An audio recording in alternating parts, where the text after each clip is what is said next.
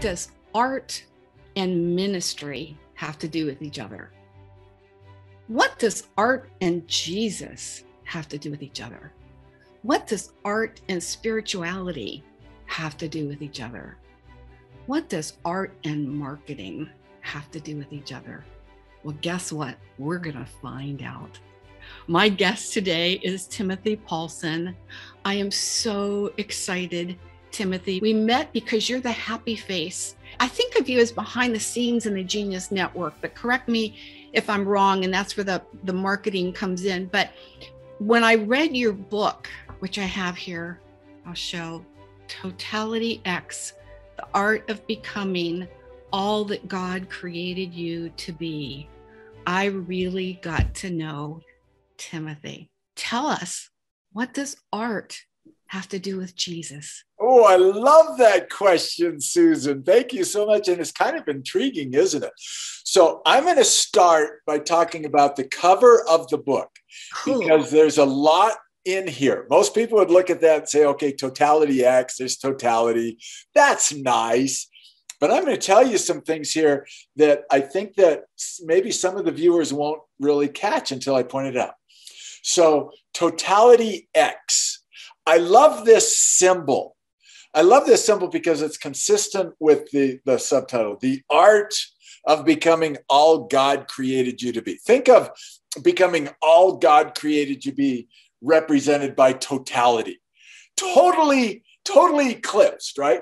So, uh, what was it? Maybe four years ago, five years ago, there was uh, there was totality. a total, yeah, yes, in the United yes, States. Was. Yep, and, yep. and Susan, when I was when I watched that, now from my doorstep, I saw about eighty percent totality. You know, but were you wearing the glasses? I sure was. I actually have them on my desk here. Yeah. Okay. so, but but when I saw that, Susan, what was in my heart was um, helping people become all God created them to be. And when I saw that, and then I watched on on a television, I I watched you know Totality that day, and I thought, oh my gosh, that is the perfect picture of what's in my heart, helping people because you know it gets darker and darker and darker in totality you know the the birds stop singing it gets cooler the weather and then it gets dark yeah. And then what happens? This corona, boom, appears around. And when I saw that, I said, you know what? That represents to me. So I painted this. This is a painting that I did that, that's on. I, I was, if you hadn't said that, I was going to say, no, please let everybody know that you painted that. I painted that, yeah. So, but what it represents is the corona in my mind and in my heart and in my book it's like you can become all God created you to be. The corona represents through Christ. You can't do it on your own. So the corona is representative of becoming all God created you to be, not on your own. I can't get there myself. So, but anyway, now the title, Totality X. This letter here is not the English language X, it's the Greek letter chi. Now, for years, for centuries, think about this. We, we just uh, uh, in December celebrated Christmas. And a lot of people over the years, you've seen Christmas abbreviated Xmas. Now, I remember my mom telling me, Susan, years ago when I was a little boy, oh, that's terrible. They're crossing out the name of Christ. Now, oh, some, some may have that intention, but actually, the Greek letter chi is an abbreviation for Christ. So I did, uh, I, I, finished a Master of Divinity program uh, at Liberty University. And one of the courses I took, because there was an emphasis on biblical studies, uh, was Greek, a biblical Greek. And when I came across that, I thought that is the coolest thing. Christ is represented with the Greek letter he, key. There's an aspir- aspiration there. But anyway, so I said totality through Christ. Totality through Christ. The art of becoming all God created you to be. Now, Susan, you and I for years, we, we see these books, the art of becoming rich, the art of communication, the art of, but this is literally art so it when is. talking about what does art have to do with Jesus? What does that art have to do with theology and yeah. so forth? Um, these pieces of art, there's 16 chapters in this book. Each chapter has a uh, has a painting, a piece of art. Like this is uh, a piece of art that I did on the Beatles that was I love paint, that. painted right onto a, a, a tree stump, right? But anyway, so each chapter begins with uh, a piece of art that I've created. And then in the chapter, I talk about when I painted this piece of art, I had a focus on what is it teaching me? What are the what are the success principles in this piece of art? And then at the end of the chapter, the most important part is how Christ is revealed in that piece of art and how Christ can help us become a better version of ourselves. I so, just have another thing to add. In, in, in, in addition to what does art and Jesus and what does art and marketing and what does art and spirituality, there's another one. What does art and teaching? Because you are a teacher. Yes. Timothy. Thank you. I mean, just what you've been doing here. Of course, some of the things that you're bringing up I learned through your book, and anybody who buys your book is going to be able to take anything we're talking about here to a deeper level. But you are also a teacher and you, you, are a minister. Yes. So thank you for that. It's um, you know, what's really interesting, at least to me, is that of the 16 pieces of art that I feature in the book, and then there's 16 chapters, and there's some additional pieces of art. So there might be 18 pieces of art. Only one features Christ directly. Oh, that's right. And, yeah. And so, so others would say, wait a second. There's a chapter with a with a, the Beatles Abbey Road.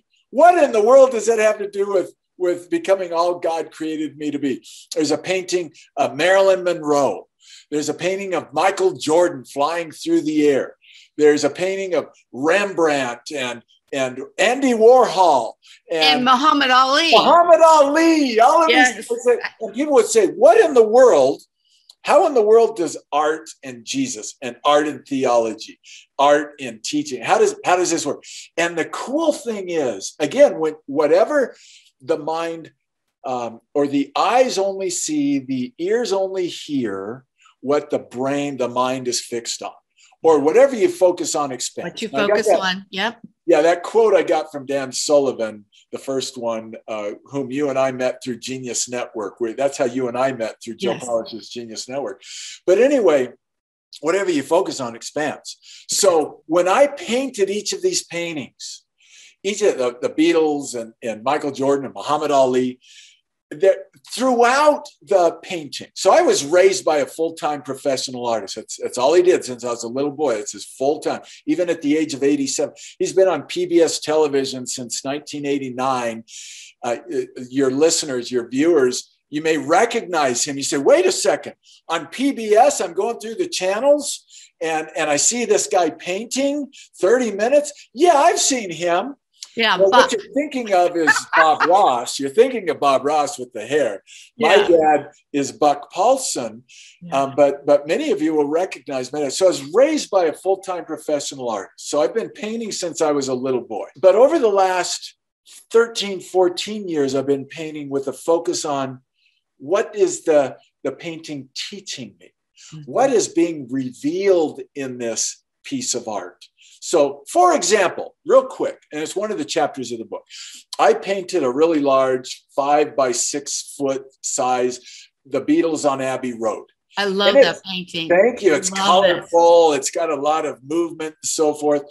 And what did that painting teach me um, about theology, about our Savior, about these other things. It, you would think that that's the last thing. That's not their intention to be advancing Christianity, right?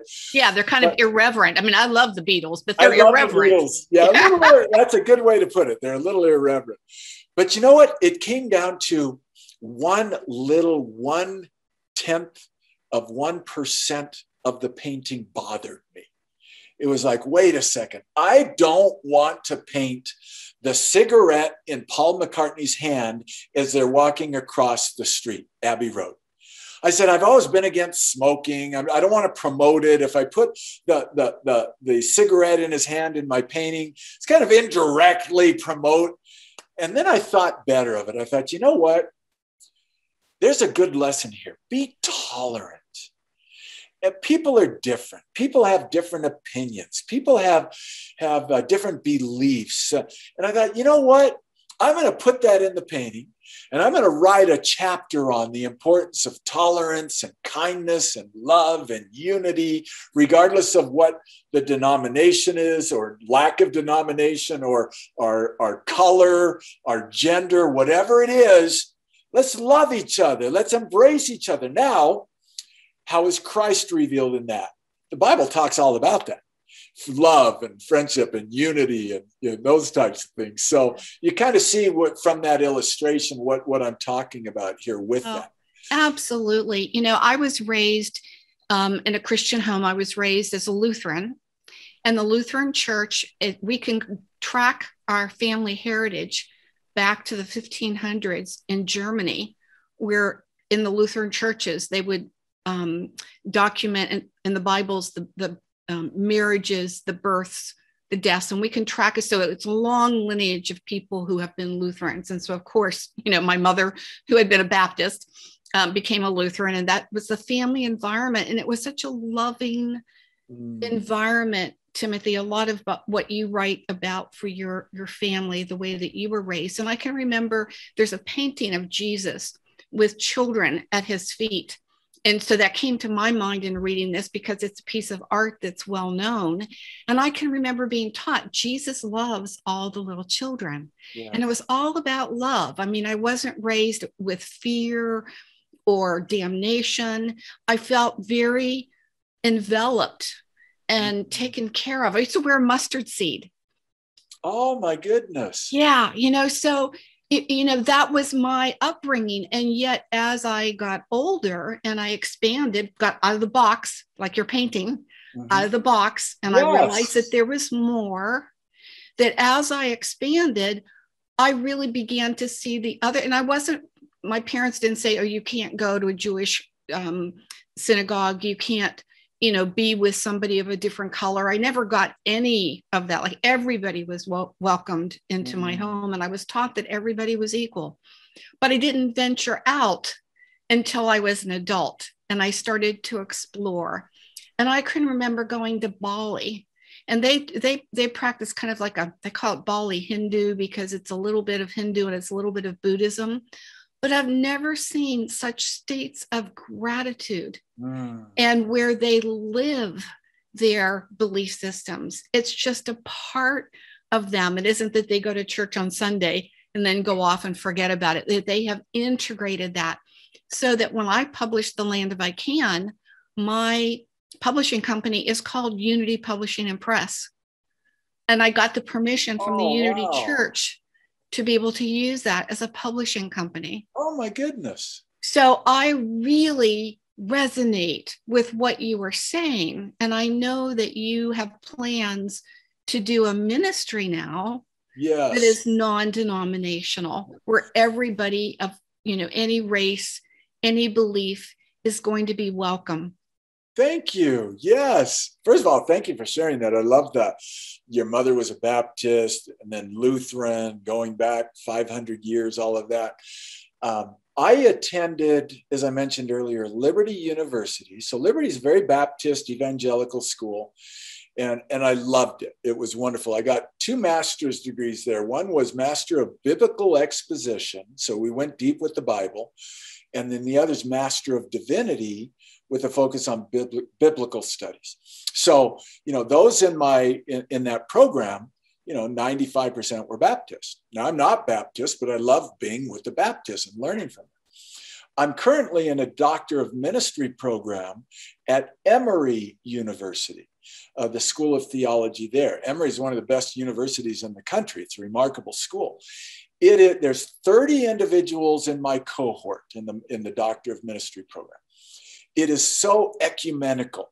There, there's, there's Lutheran, pastors and ministers, leaders of these different denominations Lutheran, Baptist, there's a Catholic, there's Greek Orthodox, there's Salvation Army, there's the Church of Jesus Christ of Latter Day Saints, which I embrace. Yeah. Um, there's there's uh, AME, African Methodist Episcopal Church. All of I've been to one of those. That is I want to go. Interesting. I want to go.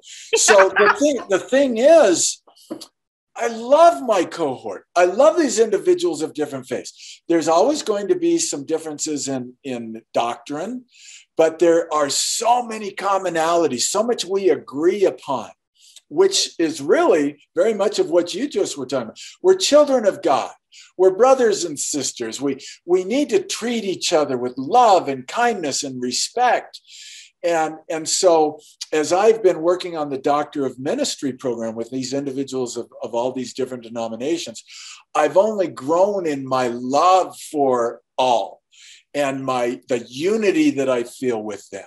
And so I was rejected from uh, from a couple of universities when I when I applied for the Doctor of Ministry program, even though I had you know perfect GPA in the master's degrees because of my beliefs. Well, you don't believe in the same things we believe. Ah. Wait a second. I want to focus on what we agree on. Yeah. We love the Savior. He is the Savior of the world. We we we we love the Bible. It is the Word of God gosh, can't we find some unity? And that's what I find at Emory University. So, Wonderful. so you're right. You know, I've worked in the business world for 40 years. I mean, we can have this whole conversation can be talking about business and building. Well, and, and I do. I want to kind of bring it back. I, I want you to complete your thoughts there, but I want to give some context because for me, it, the work that I do is is helping people to get out of the box, mm. to hmm. go to the next level, to find a mission, to, uh, something that has their purpose associated yeah. with it, that they can really live the most passionate and fullest life that they can, and then write a book about it. I mean, that's that's the path that I take people on, and to be able to go out that. But there's always context because who we were along the way, the family we were raised in, the work that we did in the world, the our associates and the life that we've lived, all of those are layers and provide context. Because even though your father was a painter and a very famous painter, you didn't just become a painter. You went off and you explored other aspects of life that bring you to where you are today in your ever growing state. So tell us about the marketing side. How does art and marketing and those 20 plus years of being in the business world or 30 years. I don't know how, exactly how many years, but a lot. 40. 40, 40 okay. so for 40 years, I've worked in the business world, absolutely, and, and have helped uh, like Genius Network, Joe Polish. I've worked with him for over 20 years. And, um, and I love that arena. I love helping business owners take their business to the next level uh, to, be, to, to learn marketing and implement marketing and, and do some remarkable things in the world. And, and I love it when individuals use marketing for good. You know, so, so Joe Polish is one of the great marketers in, in the country.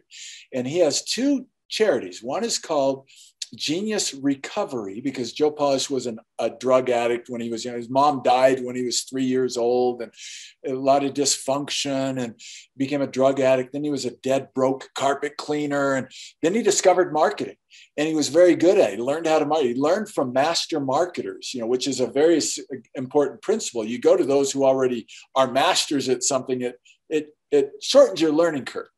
So anyway, so then Joe started Genius Recovery because he wants to change the worldwide conversation that's going on around addiction as opposed to criticizing and being uh, judgmental being helpful. How can we help that's his mission. That's, that's his mission.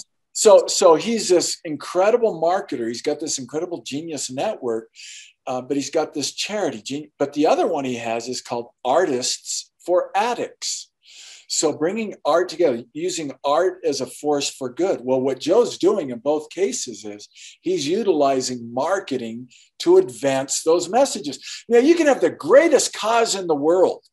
Like for me, what I'm doing in my, my nonprofit that is just starting, um, it's called Totality Ministries and and the it, it merges art and theology art and theology. So it's like, again, utilizing art as a way to express and explore how to become all God created you to be, but also utilizing that to create greater unity and friendship uh, in, in, the world among and connection. Right. And connection. Yeah. And connection. Thank you. And connection. Absolutely. So, but we can have these great, great charities. Totality Ministries, the mission is going to be remarkable.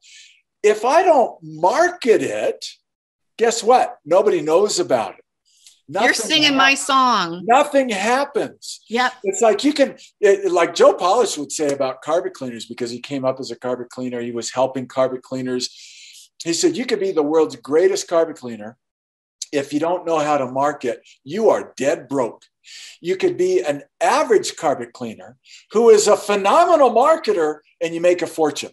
Now, he doesn't advocate being average. He wants you to be better than that. Yes. So, the market, the merging of art and theology, this message. Now, guess what? This is part of the marketing, right? Yeah. It's like cr- write a book then market the book, get the book out there. The more people read the book, the more they recommend it and share it with others, the more they're on board. I want to be part of what you're doing on Totality Ministries. So, marketing is a lot of things that, that I'm, do, I'm going to be doing. Uh, so, 40 years in business. So, that means that now on 222 22, I'm 60 years old. 222 22, whether you're. Oh, what, you're still a youngster. I'm still a youngster. yeah. so, but but that's 40 years in business. Yeah. And the next 40 years are going to be taking the best lessons from business and the experience, like you said, of teaching it, because I've spoken at seminars around the world, I've been teaching for decades, bringing that into now totality ministries art and ministry. So I, I, have another business. Well, I have a business. It's called Paulson Creativity Studio. Uh, the website's Totality X leads to all of this. TotalityX.com leads to the book, leads to my art, and then leads to the ministry. So you can find this there. But Paulson Creativity Studio is where the art it, it, really that the selling of art helps fund the ministry so they're kind of going hand in hand but the, also it's so cool that the art and ministry works together within the ministry but marketing is everything it oh is. You know, there's there's nothing that makes me sadder, Timothy, than someone who has written their book and you know it's not an easy it, you don't press the easy button when you write a book. If you go deep, which you did, it takes time. Yes. It takes effort. It takes commitment, but it's worth it. Yes. And there's a transformation that takes place from where you were when you first start to write because you have to dig deep.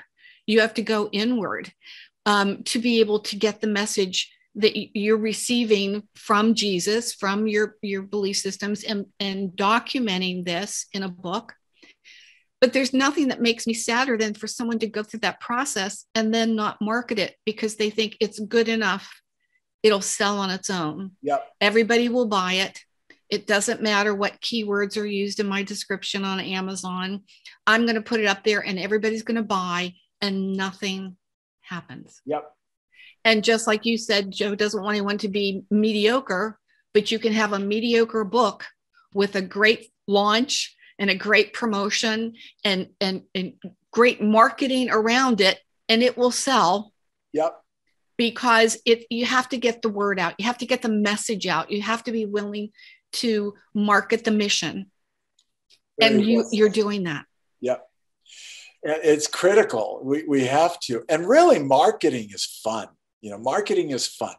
It's it's like a laboratory. It's like you, you can test so many different variables in marketing. You know, it's a different headline or a different approach. Yes. So I'm I'm going to be doing and and and a lot of a lot of stuff you do in marketing doesn't work. Some people say, "Oh my gosh, marketing doesn't work for what I'm doing because I tried it I put out whatever, whatever they did, an ad, something online, direct mail, whatever it might be, and it didn't work. So marketing doesn't work. And that, that's like saying, let's say there's the unfortunate event of a, a plane goes down, it crashes. And then people start to say, air flight travel doesn't work. It's, it's, it, it just doesn't work. no, it worked. Something went wrong in that case, pilot error or the weather or or uh, mechanical or whatever. There's something that didn't work. Same thing with marketing. It's like it didn't work. Marketing works great, but there's something wrong with that specific marketing. Yes. Analyze it, learn from it, tweak it, change it, and then come back and do something. And so that's why I love marketing. I love. I do too. I, I do too. The, the mistakes. You know, the, and I mean, Joe has his his show. I love marketing Zoom, yes. which I was fortunate enough to be a guest on a few months ago. And a lot of people don't. They'll say, "I hate marketing." Yes. And it's like when you fall in love with it, when you can see the fun that you can have with it, and the benefits that it does for the, your work in the world. Yes. Then it's it's a fulcrum shift where you're looking at the same situation but with new eyes. Yes.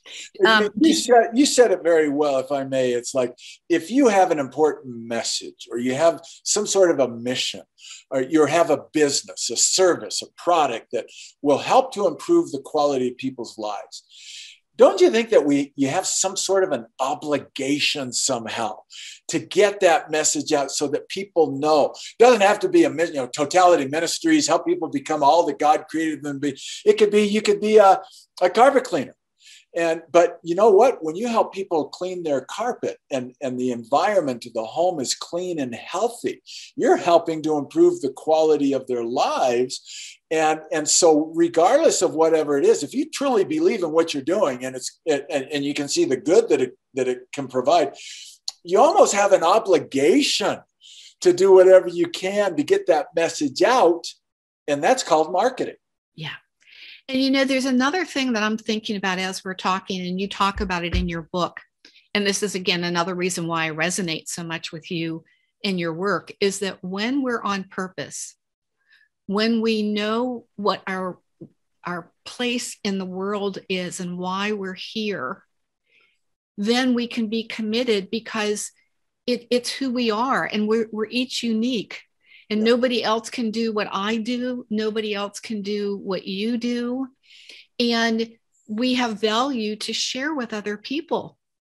So, aren't we kind of uh, dismissing why we're here on the planet if we don't claim that purpose and live that purpose and continue to grow? Because as we're talking about 40 years in marketing, and yes, you were doing art along the way, uh-huh. but you've just now written this particular book. I know you wrote another book a few years back, but you just now wrote this particular book. So it is a journey. It's a journey to find purpose and to be on purpose with yeah. our work in the world. That's very good. And, and, and that doesn't come automatically. It doesn't come easily a lot of times. No. You just said, you know, that this book. So I wrote Love and Grow Rich: How to Love Your Way to Life's Riches. Um, I think it's 2008. And this book I published 2021. Okay. Um, but I started writing this about 20, 2017, 16, something like that. And the title was The Art of Becoming Everything You're Capable of Becoming okay? Because i knew that, that that i was learning from art and i wanted to share that. And i've been a, a speaker uh, you know around the world speaking business topics but always using my art to illustrate certain principles that that one can can uh, apply in their business right? So i just could not finish the darn book. I, I, I, just didn't know how to finish it. I had the pieces of art, you might say the 16 pieces of art that appear in the book, and I wrote the chapter about it, the success principles, I just couldn't bring it all together to fruition. And then it was when I added the X. Ah. And when I added this, I saw this. So again, the vision, the vision became more clear. This is a Christocentric book. It's not, it's not just a, there's another word, anthropocentric, which is the, the arm of flesh, relying on I'm smart and I can do this and so on. When it changed to a focus on here's the art, here's here are the success principles, and here's how Christ is revealed through it, and how we can really become all God created us to be through Christ. That all came over time. If I didn't start the book, if I never started the book, then I then or, or I would have. Let me put it this way: if I would have waited for that insight, that that direction, that purpose, I never would have written the book. Yeah. You have to go down the path. You've got to start, right? And then it becomes more clear. That's not my purpose. This is my purpose. This is important to me. This isn't important to me. So that's why 222 22. It's a great date, by the way. It's a it Tuesday, is. Tuesday, 222 22 it's like okay here's my my purpose is changed. It's like it's not like what i've done for 40 years has not been valuable. It's been invaluable because it's helped you could yeah you couldn't have written this book 20 years ago. No uh, no way no way. So so i'm i'm leaving that retiring from that you might say and then going this direction but it all comes you know it, that experience and and, and, and the education that I've received in recent years, all of this, the art, the passion I have for art, the passion I have for Christ, the passion I have for sharing and teaching, um, and that passion for bringing unity. So, again, focus, absolutely. Yeah. I was thinking one of the pictures that you shared um, earlier in this conversation was of the tree stump that you oh, had yes. found and you painted the Beatles on all four sides and then on the top of it it was the Beatles and then there was another one that you found old fencing parts yes. that had been thrown out yes. and you put them together and you painted them and that was really you also talk in your book about you paint something and it isn't coming together just like what you're talking about the book wasn't coming together mm-hmm. and you just paint over it like yes. you did with your Marilyn Monroe picture. Yes. So it's kind of like for anyone who starts something and says, "Oh, I can't do that," because you know I live in the land of I can. My book is the land of I can. Oh, so right. yeah, so so if somebody says, "Oh, I can't do that," and they put it aside and they never come back, and they never try to go bigger yeah. or different you know like the, the child that that learns to color inside the lines and they never go outside the lines. You know yeah. there's a lot of people and you have your your you're painting about the box. There's a lot of people that are living very unfulfilled and in this box that's been created either because their parents said that they should need to be a doctor and so they went to school and they became a doctor and they they help people but they really don't that's not what they wanted to do. They really wanted to be a pilot or you mm-hmm. know something entirely different. And so being able to break those chains that have been created in the box and to be able to grow further and further and further is so fulfilling yeah for those who are willing to go on the journey and do the work because it does take work you know yes. but for those who are willing to go that that next level that next evolution um, it's so rewarding and the happiness because now we're just being who we were meant to be. I love that susan. Very well said you should write another book.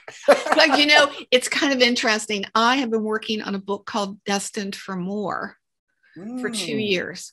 Mm-hmm. And I'm in a very similar place that, that you were describing, where it keeps the, the message is there. It's everything we've been talking about here, but the chapters the actual chapters keep rearranging themselves yes. and um it, it's but i'm working on it because i mean it's, it's like i'm massaging it and it's going to happen but it's called destined for more with the subtitle of from success to significance Oh, I like it. Oh, I like that. I like yeah. that because that's how I feel like the transition that I I'm in. It's like yes. from success, 40 years in the business world, success to significance, totality ministry, the next level, right? Yes. And that's not the same for everybody. I mean, it's not like, oh, you all should do exactly what I've done or Susan has done, but here are the principles. And something you said, Susan, if, if I may, tell that brief story about a, chapter in my book, The Halfway Principle. Um, because I think it's so important because you you're halfway in your book and it and it doesn't quite look like a success yet. Halfway through writing my book, it, it looked like a mess. Um, my dad when I was seven years old, he came to my school. It was McKinley Elementary School in Santa Barbara, California. My teacher was Mr. Yoshida. And Mr. Yoshida, third grade, Mr. Yoshida announced to the class, Timmy Paulson's dad is coming to the school today. He's going to do a uh, an art demonstration, and I was so proud, Susan. My dad is coming. He's going to be the cool guy, and I was going to be the cool guy in the school for the day because sure. students were saying to me, "Oh man, Paulson, your dad's an artist. That's so cool!" And I think they were excited about getting out of class too to go to this. so, but I remember walking into this large room and my dad was set up he had his easel with a blank canvas at the front of the of the room. And uh and you know he waves to me you know and so i sit there and i go man I, this is so awesome. My dad was 35 years old young handsome engaging artist right? So he started painting and he's engaging with the group talking to them and painting and it's about an hour long demonstration. 30 minutes in halfway through I remember so vividly my feelings, Susan. It was, oh no, this isn't going well. That looks terrible. My friends are going to laugh at me. They're going to say, Your dad's not a good artist. All of these things were running through my head. I remember exactly where I was sitting in that room and those feelings. Halfway through, it looked like a mess. Now, there are some significant quotes before I tell the rest of that story. Some significant quotes. Dr. Seuss, he wrote, Everything stinks until it's finished. Uh, Rosabeth Kanter, a Harvard professor, everything looks like a failure halfway through. Um, so it looked like a failure. My dad wasn't in the least concerned because he knew where that was going to lead. He knew he was laying a foundation for something cool. By the time he finished, I remember looking at it, being so proud. It was this dark, beautiful seascape. And and I was the cool kid and like, wow, your dad's the coolest artist, this and that, and the other thing. So you're like, thank goodness. But as an artist, that's very helpful because I've got a painting on the easel now. I'm past the halfway mark, but halfway through it was like, ooh, this isn't looking so good. Now it's like, whoa, this is looking really good. But the painting you mentioned that's uh, featured in one of the chapters of my book, I did an abstract painting. I remember sit, stepping back and I signed it. So abstract, so all sorts of colors and movement and so forth. And I looked at it, I thought, that is ugly. That's a failure. But then I remembered my dad's visit to my third grade class. And my dad, you watch any of his shows on PBS television, halfway through looks a little messy. But I, so I said, well, it just means that I'm not done with it yet. And I was studying the work of Andy Warhol at this time when I when I was looking at this ugly painting I did and I was inspired to to paint something that he did, Marilyn Monroe in his style, and I did that over the abstract painting. And now the abstract underneath comes through, and it makes it a totally unique piece yeah, of art. It's beautiful. It's, it's like beautiful. So so halfway through, Susan, your book, it's a little messy. Halfway through this book was really messy. Halfway through raising teenagers sometimes looks messy. Sometimes halfway through a marriage looks a little messy, looks like a failure. I've done um, over 10 years of, of pastoral counseling. I've led congregations. So I've met with couples sometimes where they're saying, We're throwing in the towel, we're getting divorced, you know, it's not working. And I asked them, How long have you been married? Well, we've been married for 18 years or 15 years or 20 years or whatever. And I tell him this story about my dad's painting and about art. I say, you know what? You've only been eight, uh, married 18 years. You're not even halfway done yet. Yes. Everything looks messy in the middle. Everything stinks until it's finished. Everything looks like a failure until, and that actually has resonated with people. So when you're frustrated with your kids, or you're frustrating with employees, you're frustrated with even marketing. We're talking about marketing. Yes. It's like halfway through, sometimes it's like, whoa, this is a failure. I could tell you a lot of give you a lot of examples, but it's like, wait a second, this is worthwhile.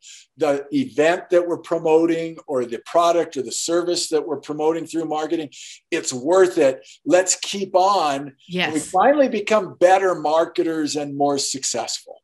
Yeah. Yeah. No, that's wonderful, Timothy, because again, working with people, I have a one year program where typically I can, we can find their golden idea, their deep message. We can, I can coach them on the book and it's usually complete, maybe not published, might need to go to editing first. Um, but we can usually go through that process in about a year. And then I have a 90 day program where we dig for that golden idea and that message. And then we just write the first draft. You know, we get the outline, we get the pieces and parts down, like you're talking about, but it, you know, it will need more work from that point on. And I just got a phone call from someone who went through a 90 day program. Um, and she was, it was had gone to editing and she received the edited book back and was going her job was then to go through and either approve or add to and she completely stalled. Mm. She just mm. completely stalled. She said, I just need to sit with this. I'm like, that's fine. But I got a phone call from her last night and she said, I'm ready to come back to my book. Excellent.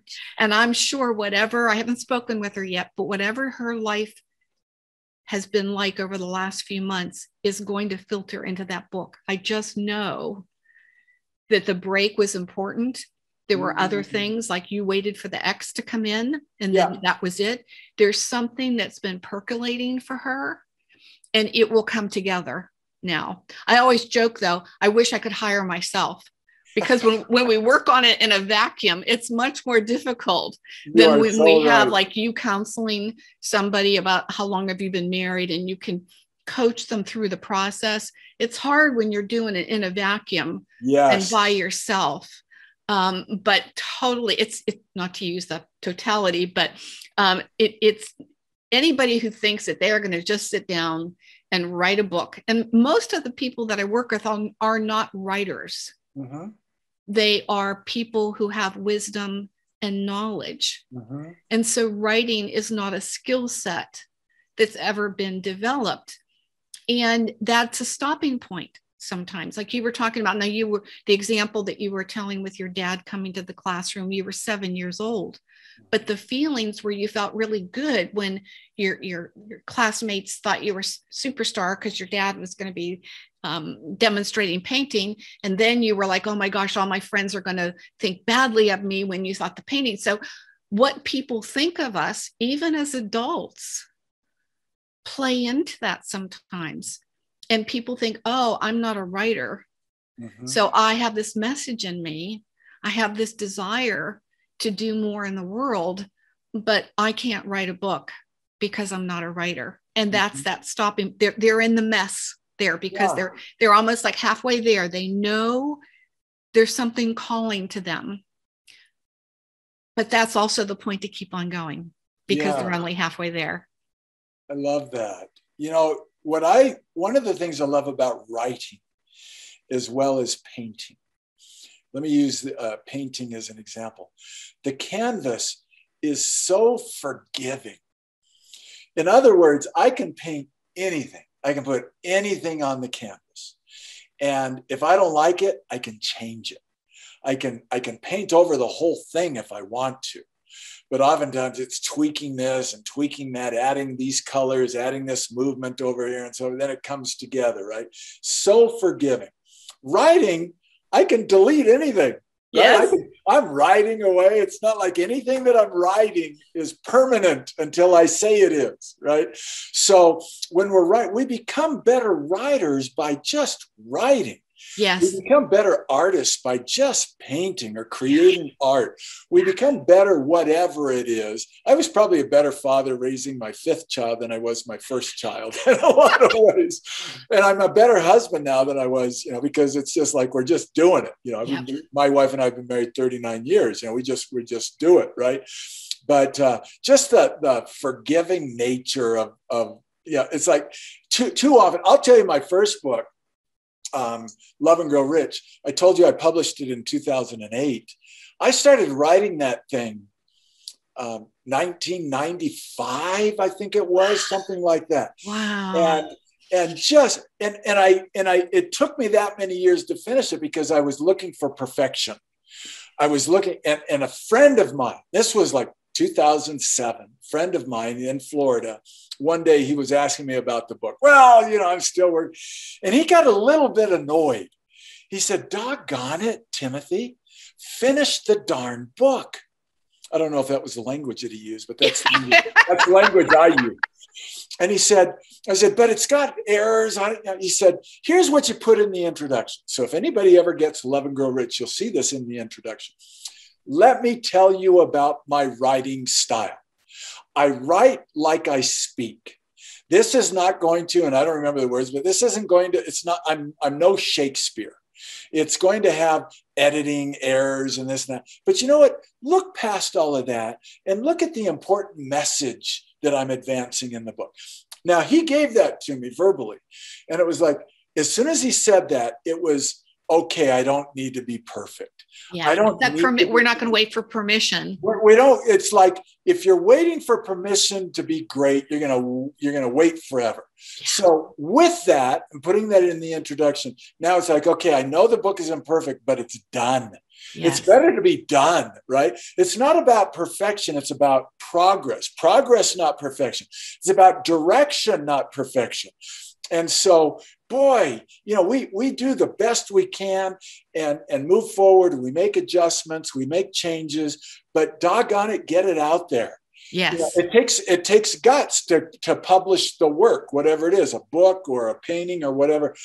But it is also one of the most remarkable wonderful feelings isn't it Susan? isn't it? You know I, I i think you know my background that i was a very young widow. Uh, i lost my husband when he was 28 and i was 25 oh i did and and the biggest surprise to me is i never remarried because I, I was always open and always looking but you know um, i never never found somebody that i felt i could build a life together with again um, but my life, just like everything we're talking about, it's just evolved and evolved and evolved. And everything that we learn through that evolution helps us when we when we write a book because when i wrote and published the land of i can i felt like a messenger at that time i realized the message came through me mm-hmm. the message was given to me and i had a really hard time initially putting my name on it Mm, wow. But once once I claimed that, okay, I will be the messenger, and so therefore I will put my name on this. And when it arrived, it's four color embossed dust jacket, color all inside. The camera. But when it arrived, I mean, I, I this was my art creation. Yes. And when it arrived, it was it, I had birthed this and I felt that I needed to, it was my responsibility, like you do with your children. It was my responsibility to get this message out into the world and to mm. care for it as you would for a child. Yes. So, so yeah, I mean, the person who I was before I got the message, and then the person who I was when I got the message, and then the person who I was when I got the book done was all part of this evolution. I love that. Beautiful. Yeah. Yeah. And no wonder, like I said, when I read your book, I was like, oh my goodness, I want to talk to Timothy. And then it came from, I was just going to do a call with you, just I want to talk to Timothy. And then when I got the idea to do the Messengers on a Mission conversations and reframe my YouTube channel and start to do these interviews, and the idea came to me in a breakout session at the annual event Oh, um, nice. Um, for genius. And I needed to move past that place of perfection because I don't do video work. I'm mm. more the writer. Mm. And so I had to just say, I'm going to show up however I look, wh- whatever I say, just I'm going to be there with my heart open and be listening and be in conversation and just like the conversation we're having here, which I think is just beautiful, the conversations have been. Yeah. So having that openness to move past the perfection yep. um, is so important. Well said.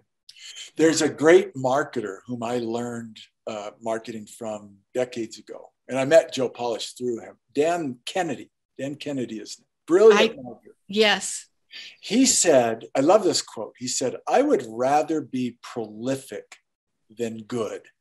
I, remember, I remember hearing that. It's like, I'd rather be prolific than good.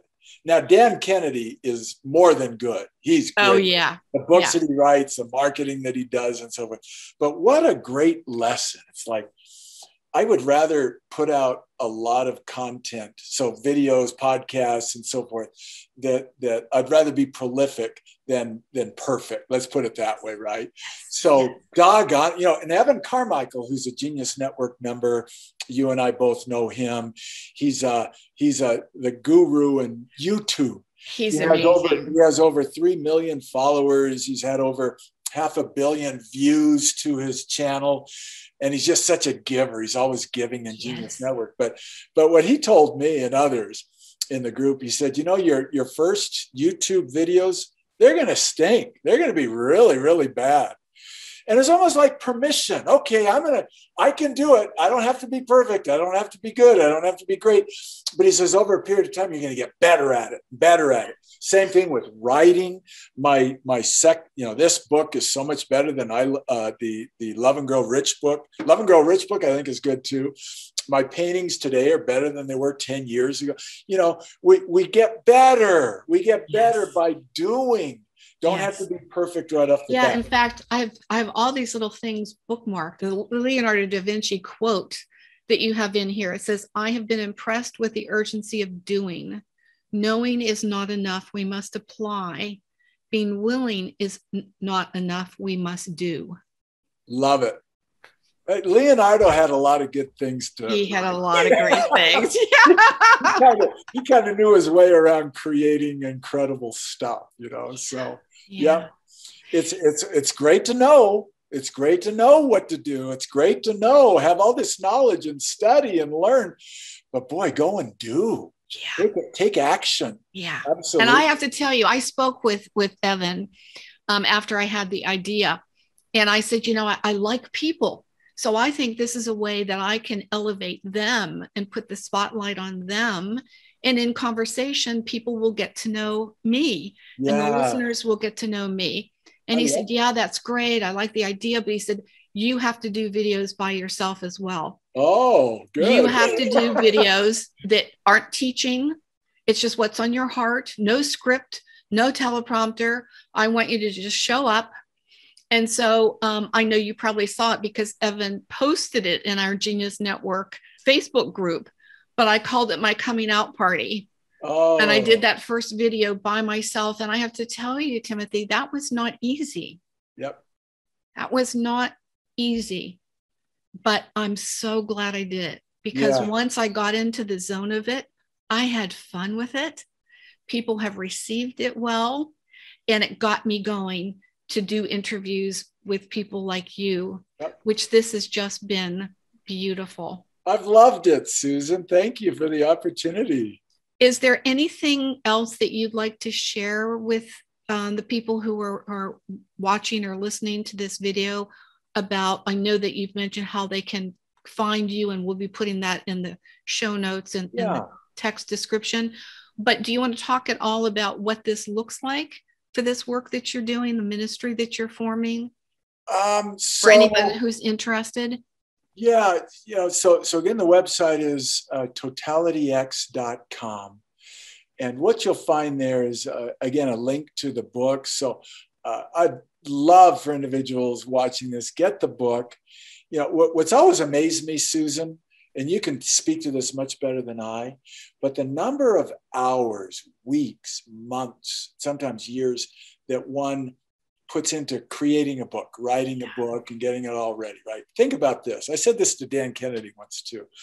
It was like, now, first of all, it's taken 59 years of living, all the experiences and, and creating the, the 18 pieces of art that are in my book and, and then writing the book, getting all the direction, lack of direction, mistakes, all this. And finally, the book is done.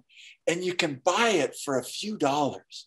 To be able to, not just my book, but, buy any, to get any book, it's like, oh my gosh, it is the greatest bargain on the planet to get their wisdom, to get their experience, to get uh, their work, their sweat, everything in this book for a few dollars. And and and and be able to cut your learning curve. You know it's like wow instead of taking 20 years to learn this i can learn it from reading a book. That other person took 20 years. She took 20 years to learn it put it in a book. Yeah, so anyway. it, it, it's it's simpatico because the person who reads the book is receiving but the person who wrote the book is also receiving yes because their work is now out into the world and it's their legacy. And so we become it, better it, when we write, don't we? I mean, yeah. we, we learn more, we, we clarify our thinking, we get more focused. We, we benefit, even if we never sell a, a copy of our book, we benefit from it. But well, anyway, I hope that, that people who are listening here buy your book because you. it's beautiful. Thank it, you. It is a work of art and it's beautiful in the message and in the writing. And I loved every page that I read. And I read the whole book. You, As you can see, it's all bookmarked and I loved it all. Thank you. So thank you, Timothy, for being here with me today. I suspect this will not be the last conversation. I, it's have. just the beginning, Susan. It's just the beginning. thank you so much. My pleasure. Thank you.